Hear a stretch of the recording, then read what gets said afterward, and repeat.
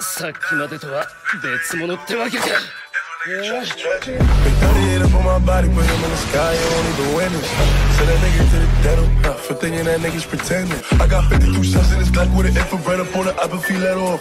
Straight Subi all the time, yellow tape on his black ass head off. In this video, we're going to be talking about how King Bradley in Full Metal Alchemist Brotherhood is better than King Bradley from Full Metal Alchemist. So, what actually makes Bradley better as Wrath than Pride? Let's be honest here. In Full Metal Alchemist, Bradley had no character development whatsoever. On the other hand, Full Metal Alchemist Brotherhood, Bradley had a backstory. He had information uh, that he he was half human. He wasn't completely homunculus. Um, as in like in uh, Full Metal Alchemist, he was completely homunculus, and uh, he had more background. He was more savage. When you when you think of Bradley, when most people think of Bradley, they don't think of of, Full Metal Alchemist Bradley. They think of Brotherhood's Bradley, and let me tell you why. Bradley is Wrath worked so well as a character.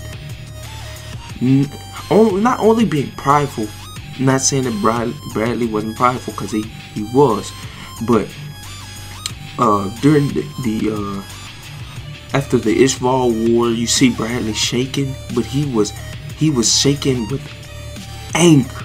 He he wasn't laughing, he wasn't crying. People thought he was crying or he was sad or whatnot, but that man was shaking of complete anger. He he'll tell you. he tells you in the story. Uh, on top of that, where um the brigadier general uh, from the north dies uh, but he also injures bradley but before that the build up until that point where bradley dies this man completely went off he he dismantled the oppressive establishment he went in ran up the escalator took on tanks not only people tanks with just swords just swords tell me and he, I'm talking about when you say Wrath, that was the ultimate. That was the ultimate. Like there was nothing else to say.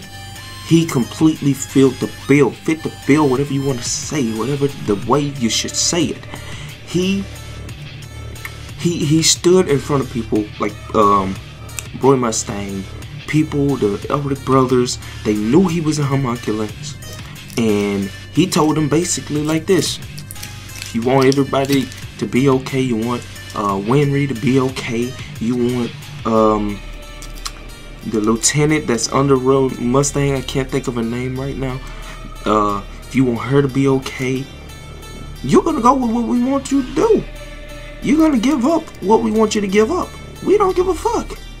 You dig? And I was like, yo, that was crazy because not only was that prideful, oh my god, bro, they added so much to Bradley. But in Full Metal Alchemist, the character, the character was just was just so swindled. They gave him nothing. The only time you only get like three scenes, three or four scenes at the most. I say three because I only remember three. Three, I three memorable scenes with King Bradley in there, and there was hardly any Bradley to be seen because Envy was most of the time um, disguised as Bradley. And the only times that you see Bradley's where he kills the Snake Chimera, and you know, Snake Chimera attacks him. I forgot her name, but that's when Al finds out that uh, Bradley's an homunculus. Um, the fight with Roy Mustang, and the and the and another part is um the part where he kills Selim before fighting Mustang. I just think that shit is crazy. But but anywhere it goes, I think that part where Must uh um where Bradley kills Selim uh, that's around the same scene with Mustang. So there, there's only like three or four instances where you see Bradley. There's no character development, and that's why he's so trash. And I want to talk about, I'm going to talk about uh, why the homunculus and Brotherhood are so much better than the ones in Fullmetal Alchemist. But that's going to be in a later video. Stick around for that. But the next video I'm going to be talking about is Envy and um, Lust. I want to talk about those characters and which ones do I think in which series are better.